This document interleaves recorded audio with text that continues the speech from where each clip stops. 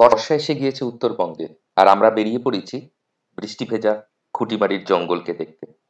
খুঁটিবাড়ি জঙ্গল গয়েরকাটা শহরের একদম সন্নিহিত। গয়েরকাটা শহর থেকে দু পাঁচ পা এগোলেই শুরু হয়ে যায় জঙ্গলের সীমানা। জঙ্গলের বুক চিরে চলে গেছে কালো পিচের সুন্দর রাস্তা। মাঝে পড়বে বেশ কয়েকটি ছোট ছোট ঝোড়া। এমনই এক ঝোড়ায় দেখি স্থানীয় লোকেরা মাছ ধরছে, আর আমরাও গাড়ি দাঁড় করিয়ে দাঁড়িয়ে পড়লাম, তাদের মাছ ধরা দেখতে। যেদিকে চোখ যায়, শুধু সবুজ আর সবুজ।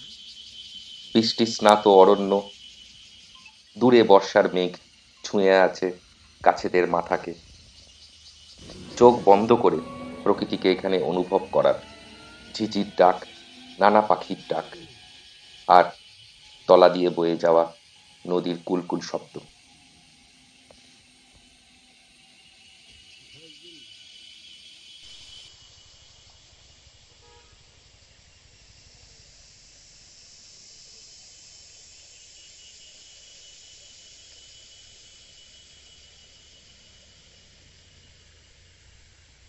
স্থানীয়দের কাছে জানা গেল, এই নালাটির নাম হাতি নালা।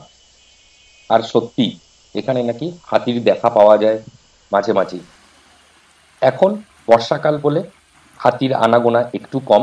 কিন্তু শীতকালে এই নালার আশেপাশে হাতি দেখা মোটেই খুব একটা বিরল দৃশ্য নয়। ধূপগুড়ি থেকে বীরপাড়া মাদারিহাট হয়ে যে এশিয়ান হাইওয়ে চলে গেছে, তারই উপরে গয়েরকাটা একটি বহু প্রাচীন এবং বর্ধিষ্ণু জনপদ। তাই এই হাইওয়ে দিয়ে ছুটে চলে যাওয়ার সময়, হাতে একটু সময় করে নিয়ে আপনারাও ঢু মেরে নিতে পারেন খুঁটিমারি জঙ্গল।